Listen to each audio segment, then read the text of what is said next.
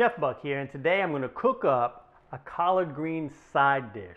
Super easy recipe. We've been using more frozen vegetables this year because we only go to the grocery store maybe twice a month, you know, ideally, so we get a lot of fresh greens and vegetables while we're there. But it usually doesn't last. Those fresh greens usually don't last till the next trip to the store. So we've been buying some frozen greens so we're not eating exclusively meat and cookies. So first things first, we'll get our pot heated up.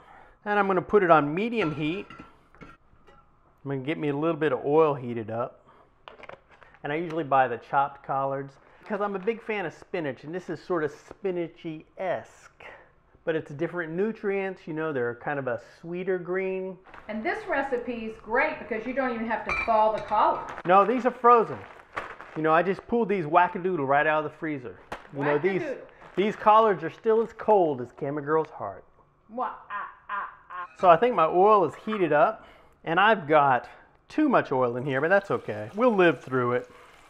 And I've got just one onion chopped up, and I've cut it up. You know, I cut half of it up kind of finely, and then I left one half of it in big chunks. But I get my onion coated in oil.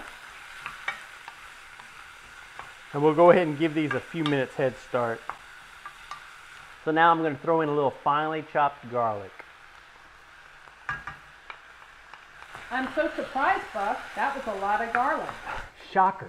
Now, if you wanted to, you could add some dried seasoning in here right now. If you wanted to add some more garlic powder or some paprika, a little bit of Italian seasoning, whatever flavors you like. But I'm just going to keep this simple today with just a little bit of salt and pepper, a little uh, pink Himalayan salt, and then I got a little, instead of black pepper, I'm going to put a little cayenne pepper in here because I like some heat with my collards. But I'm kind of taking it easy on the seasoning because I'm going to be adding a little bit of these later on. Some Worcestershire sauce and a little vinegar, and that's going to add a lot of flavor too.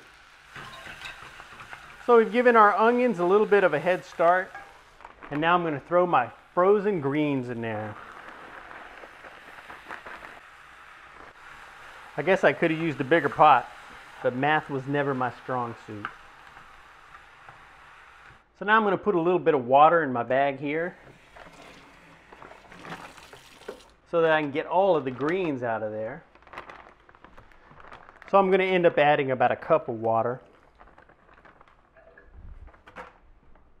So I'll get my greens and onion mixture mixed up, and I've still got it on medium heat, but I'm going to go ahead and cover it up and let it come to a boil.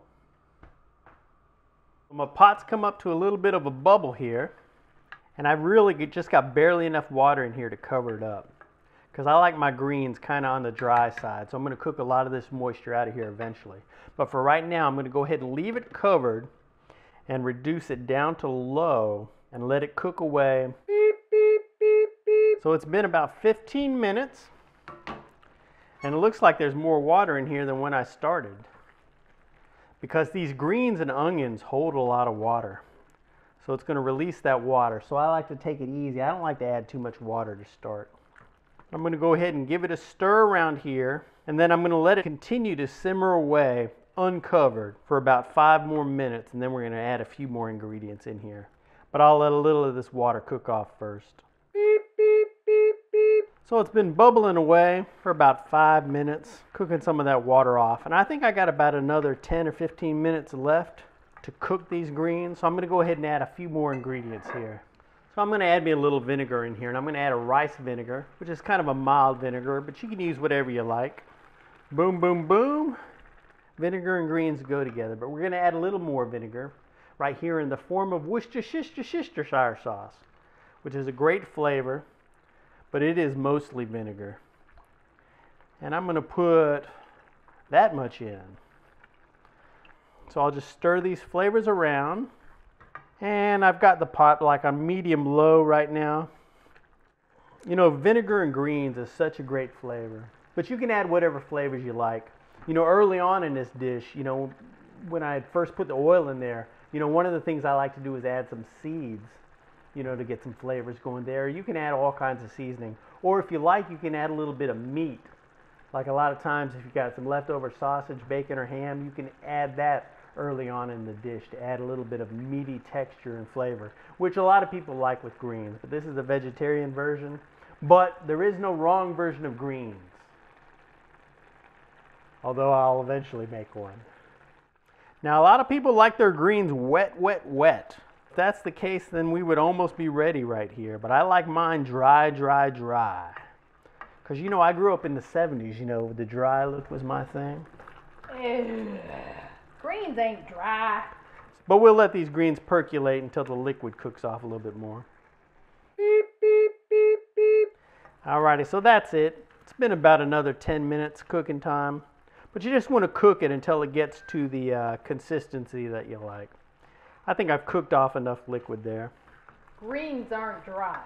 Well, I mean, they're not dry, dry, but they're, this is kind of dry for greens. What I don't like is when you go to spoon your greens onto your plate and it's like you're ladling soup onto your plate. I don't like that because I don't want my greens to suddenly, you know, become my, my plate to become a flood zone, you know, with collard green juice. And I'll give it a little taste here to see if I want to add some more salt or pepper or anything. And that's good enough for me. I think Camera Girl might want to probably add a little bit more salt to hers, but it's salty enough for me because I'm, I'm a middle-aged man. You got to learn to live with a little less salt. But you could definitely add a lot more seasoning to this, or you could kind of keep it simple the way I did with this dish. Now, this isn't southern style greens because we'd have to throw a ham hock in there. Ham hock. Get a good shot of that. Come on there close. Look at that. Oops. well, that's it.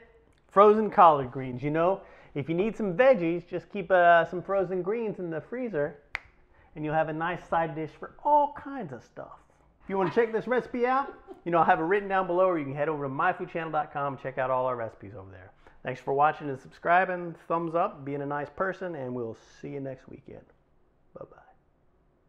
This is my new signature wave. How's it working?